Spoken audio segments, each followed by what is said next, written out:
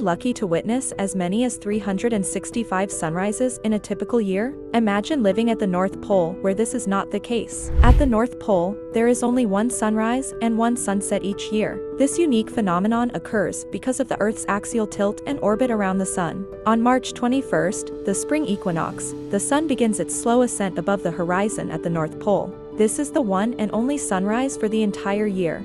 Following this, the sun will stay above the horizon, circling the sky without setting, providing continuous daylight. This period of constant daylight, known as the midnight sun, lasts for about six months until the autumn equinox around September 23rd. The experience of continuous daylight at the North Pole is both mesmerizing and disorienting. It allows for endless daylight activities, but it also disrupts the natural sleep-wake cycle of humans and animals. The lack of darkness can lead to challenges in maintaining a regular schedule, making it difficult to distinguish between day and night. As the autumn equinox approaches, the sun slowly dips below the horizon marking the one and only sunset of the year. Following the sunset, the North Pole is plunged into six months of continuous darkness, known as polar night. This long period of darkness can be equally challenging, impacting mental health and daily routines. The extreme conditions at the North Pole highlight the incredible adaptability required to live in such an environment. For scientists and researchers who spend time in polar regions, specialized equipment and living quarters are necessary to cope with the extended periods of light and darkness.